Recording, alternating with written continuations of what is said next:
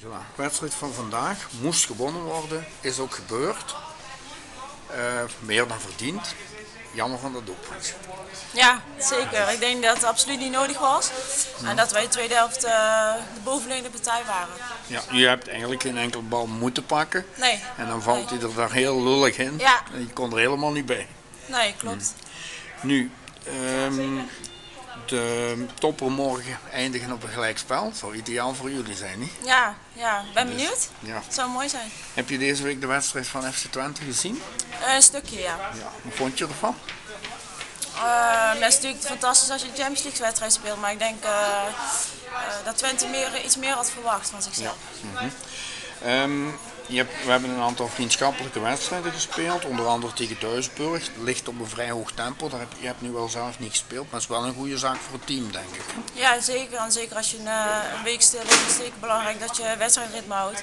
En eh, ook voor andere meiden die dan naar spelen toe komen.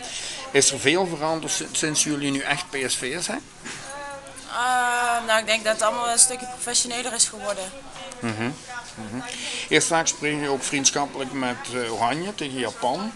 Hoop je zoals de Polen te kunnen starten de wedstrijd, maar dan liefst 90 minuten. Dat hoop ik wel, ja. Ja, ja. Nou, eigenlijk Ja. zal het wel kunnen, denk ik. Hè? Ik hoop het. Ja. mhm. Hoe kijk je eigenlijk zelf naar het toekomstige Olympische toernooi toe met Oranje? In Nederland, maar wel een vrij een moeilijke kwaliteit, denk ik. Ja, het zijn zware wedstrijden, maar eh, zeker niet onmogelijk. Oké, wat is, eh, wanneer is voor jou het doel bij PSV echt geslaagd dit seizoen? Nou, ik hoop dat we dit jaar eh, een prijs kunnen pakken. eh, Ja, welke dus prijs is dan niet van toepassing? ja, bij competitie of beker dan. Eh, we hebben nu terug een Nederlandse competitie. Eh, we zijn een aantal weken ver. Eh, hoe zie je het verder evolueren? De competitie zelf, de grote drie van boven, die het onder elkaar gaan uitvechten? Ja, op dit moment staat het natuurlijk bovenin allemaal dicht bij elkaar. En, eh, Maar ja, goed, de competitie is nog heel erg lang.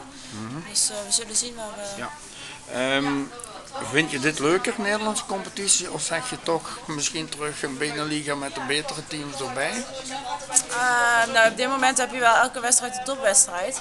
En bedoel, als je tegenstander of dergelijke speelt, hoog in de Belgische competitie, heb je natuurlijk ook een topwedstrijd. Maar je had natuurlijk vorig jaar wat wedstrijden bij zitten, Ja. niet op topniveau. Oké, goed, dankjewel. Alsjeblieft.